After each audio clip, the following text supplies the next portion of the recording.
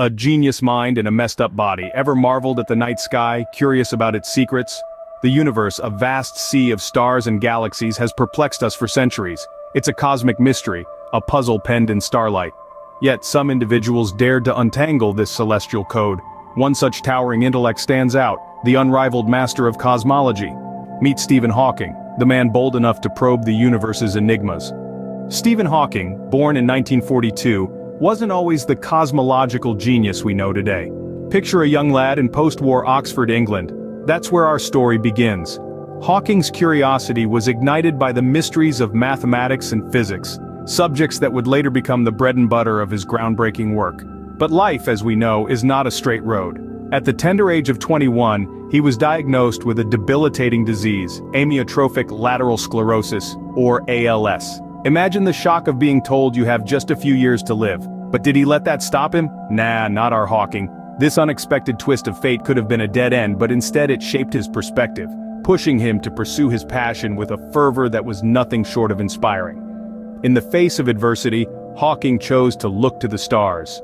Hawking was not one to be kept down by his circumstances, he soared above them, making groundbreaking discoveries. Imagine a mind so powerful, so persistent, that it could peer into the very fabric of the universe, a mind that could unravel the mysteries of the cosmos while confined to a wheelchair. That was Stephen Hawking. His work on the Big Bang Theory was nothing short of revolutionary. You see, the Big Bang wasn't just a show that made nerds cool, it's the theory that our universe began as a singularity, a point of infinite density and heat, around 13.8 billion years ago. This was a radical departure from the static model of the universe that was popular at the time. Hawking's efforts helped to solidify this theory in the scientific community. He helped us understand where we came from, how our universe began, but he didn't stop there, he also predicted Hawking radiation. Now this isn't some sort of cosmic suntan lotion. It's a theoretical prediction that black holes aren't as black as they seem. They emit tiny amounts of thermal radiation due to quantum effects near the event horizon. In layman's terms, black holes can slowly lose energy and over unimaginable timescales evaporate. This was a concept so outlandish, so against the grain that it changed our understanding of black holes completely. And then, there was his book, A Brief History of Time. It's like the Game of Thrones of science books. Everyone has heard of it but only a few have actually read it from cover to cover. This book brought cosmology to the masses, making the complex theories of time and space accessible to all. It's a testament to Hawking's genius and his ability to communicate complex ideas in a simple, engaging manner. Hawking, with his brilliant mind gave us insights that pushed the boundaries of our understanding.